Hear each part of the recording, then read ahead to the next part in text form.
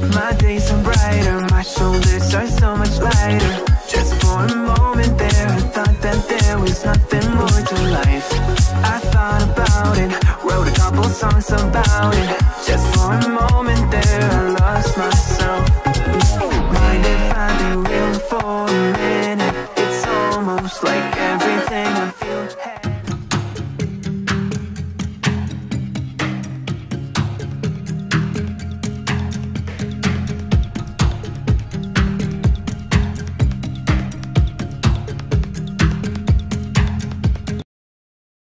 Everyone, welcome to Floor Paradise channel and for today's video, we have another video tutorial using by Pixelab and KineMaster. Isa na namang idea ang ibabahagi ko sa araw na ito.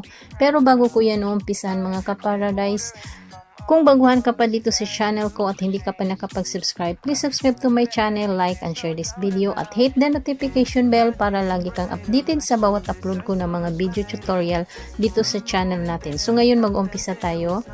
Dito tayo sa image, costume, YouTube thumbnail. Okay, so itong new text, i-delete natin ito. Kasi ito lang yung kailangan natin. Click nyo ito ha. Ito, and then ito yung kailangan natin. And then, lagay nyo lang sa gitna, palitan natin siya ng kulay black. Check. So, dito tayo, mag-insert na tayo ng logo na gagawin natin sa tutorial na ito. So, first natin na logo. Yung Facebook. Ito, pwede nyo to siyang i-follow mga ka-paradise. Kasi siya, umikot siya. Pwede nyo to siyang i-gawing, ano, tawag nito. Uh, i-insert nyo sa mga video nyo na gusto nyo meron kayong ipapalo kayo sa Facebook nyo, Instagram, Twitter, or kung anong gusto nyo ipapalo sa, uh, i-insert nyo sa uh, video nyo. So, bago natin yun siya i-save, i-transparent natin ito pinasa gitna na. Click nyo lang ito, transparent, and then save. Save as image, save to gallery. So, ayan. So, next, i-delete natin itong first logo. Click ulit sa positive. Kunin natin yung sa Instagram. Tatlo yung gagawin natin. Itong ginamit ko mga ka-paradise, download ko to sa PNG. Ilagay natin siya dito. Medyo liit na lang natin.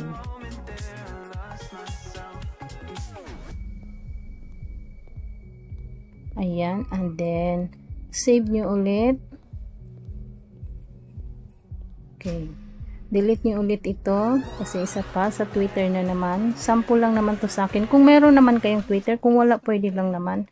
So guide lang naman tong sa akin okay paliitan natin. Iba yung lumiit pa yung pag ano natin ha? Okay ganyan lang. Din lagay nyo siya dito sa gitna. Okay medyo lumiit. Okay and then save okay ganyan siya mga kaparadise so ngayon punta na tayo sa KineMaster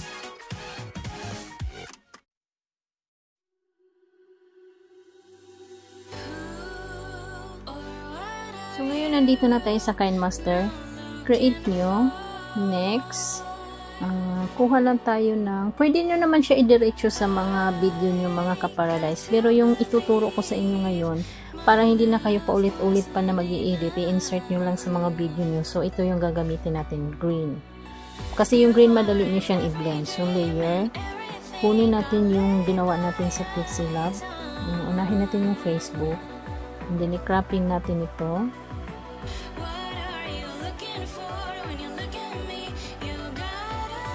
Check.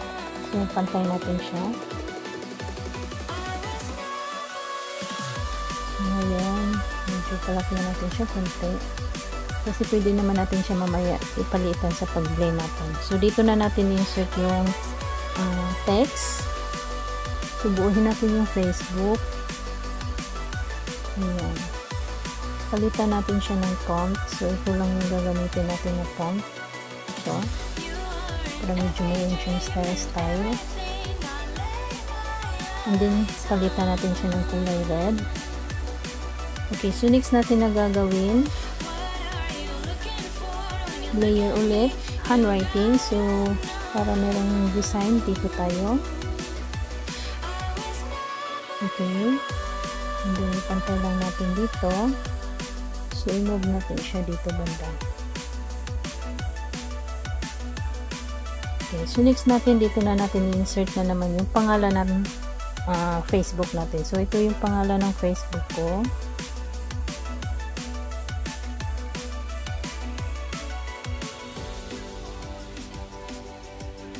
Hindi natin siya buuhin kasi medyo malak maha haba yung ano ko mahaba yung Facebook ko so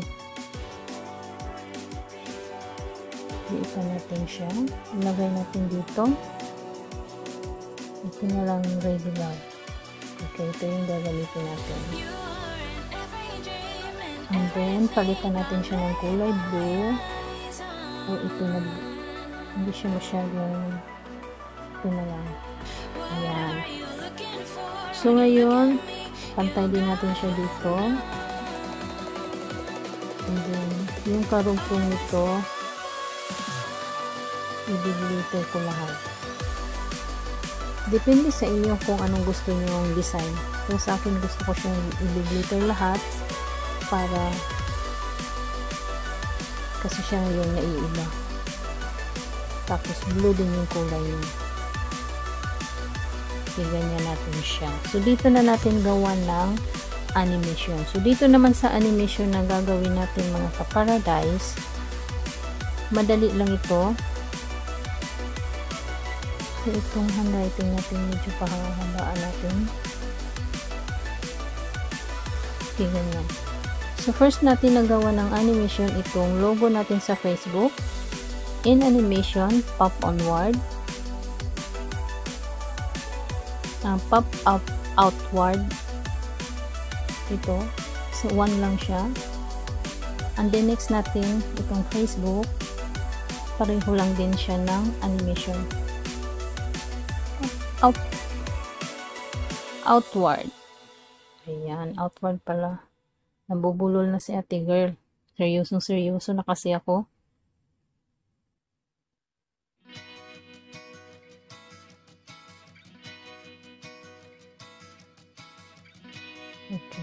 So, next, ito.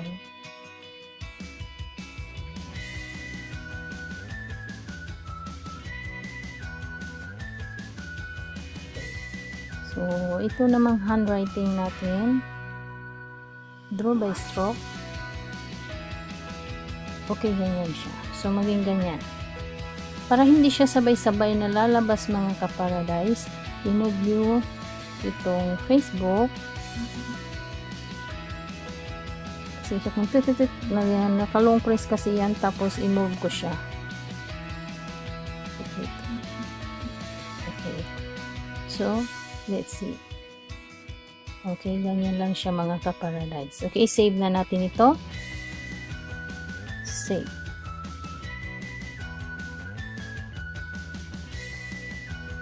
So, next natin na gagawin, balik tayo dito palitan natin itong pangalan ng Facebook, ng Instagram kasi pareho lang naman yung pangalan ng Facebook o tsaka yung Instagram.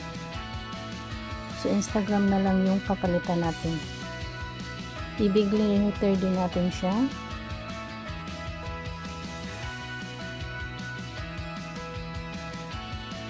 Ayan. So, ganyan din natin siya. So, ito ding logo, palitan din natin yan. Delete natin yung logo na yan. Kunin natin yung ginawa natin para sa Instagram. Ito yung papalit natin. Pareho lang naman din sila ng animation. So, i-cropping natin ito.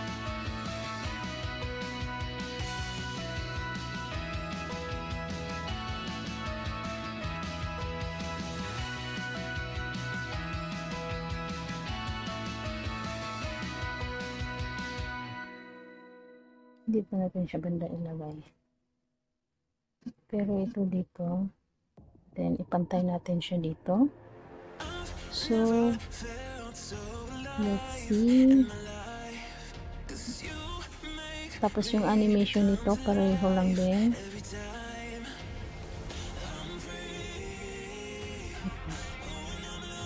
Okay, maging ganyan din siya. Okay, save na naman natin to. So, last natin na gagawin, save natin ito.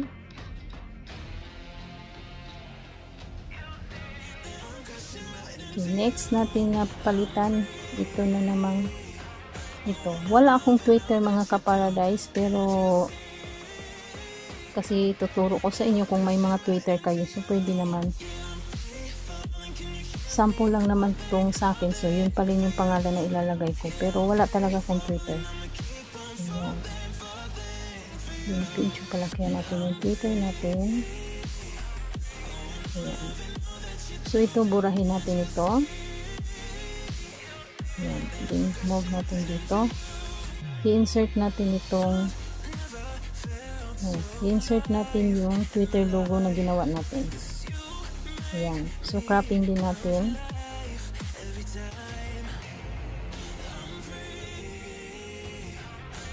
Okay. Sumog natin dito. And then, pahabaan natin. So, ilagay natin siya dyan. Malapit lang natin. Ilapit pa natin. So, yung animation din ito pareho din.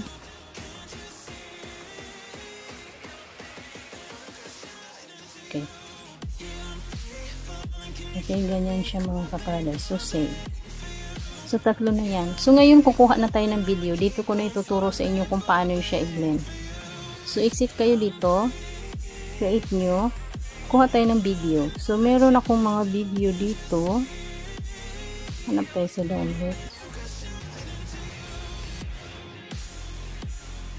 Hindi ko na makikita yung download ko sa dami lang nakalagay sa phone ko. Ano tayo ng video na pwede nating mapaglagyan yan. Ito na lang. Okay, ito na lang. And then, i-mute lang natin ito. Yan. So, ilagay, insert na natin itong ginawa natin. So, first natin na kunin itong sa Facebook. Yan. So, di ba nandyan yung green? So, tanggalin natin yung green. Chroma key on. So, itong sa baba, kailangan naka-green yan siya mga kaparadise, ha? Okay, maging ganyan siya. Ilagay natin siya dito. Siliitan nyo siya, and then ilagay nyo dito sa baba. Pero yung video natin, gawa natin siya ng paraan para maliwanag. Makikita nyo kasi yun talaga yung pinaka-highlight nito cropping natin siya, paliwanagin natin.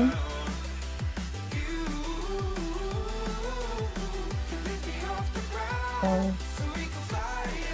Ano tayo dito? Medyo warm-warm. Ayan. So, ito. Kasi wala akong ibang video mga kaparadise. Let's see. Kung maging ganyan siya.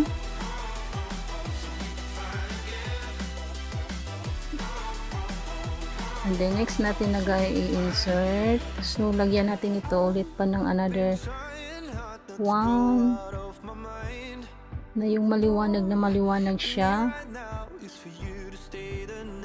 Adjust natin.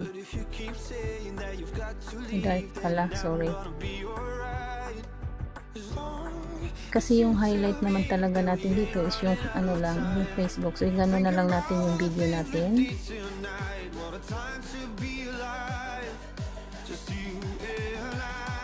Okay, ganyan siya mga kaparadise. So, next, insert nyo yung isa layer. Hmm. Instagram. Pareho lang yung process niya. Blend nyo and then you see. Tapos ilagay mo din doon sa dito kasi dito mo siya nilagay yung una, 'di ba? So dito, depende naman sa inyo kung gusto niyo malaki para makikita talaga, pero mas maganda kasi ganyan lang siya. Maliit lang siya. Ganyan. The next yung Twitter natin last.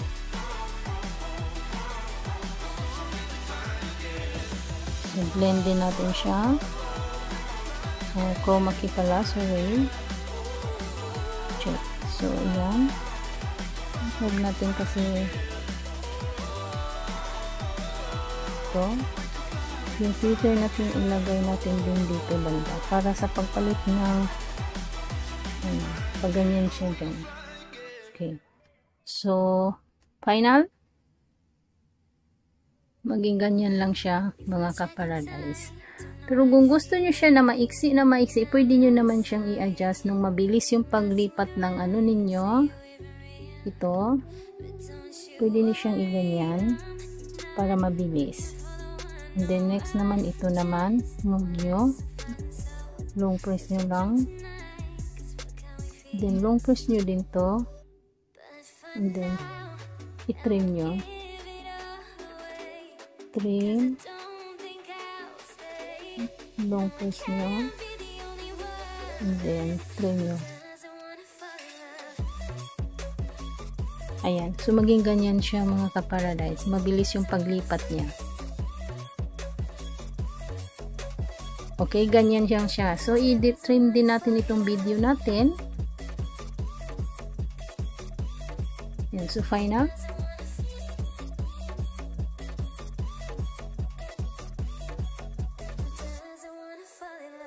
Okay, ganyan lang siya kadali mga kaparadise. So, lagyan natin ng background music para hindi naman medyo boring yung ano natin.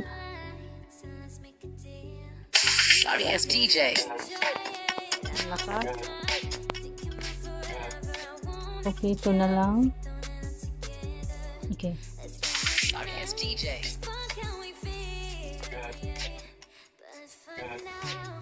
Okay, ganyan lang siya kadali mga kaparadise. Sana nakuha at nagustuhan nyo itong simpleng tutorial na ito. Ayan, trim na natin. Okay, once again, this is Pro Paradise. Thank you so much for watching. Please don't forget to subscribe, like, and share this video at hit the notification bell para lagi kayong updated sa mga bagong idea na i-upload ko dito sa channel natin. So, thank you so much for watching. See you on my next tutorial.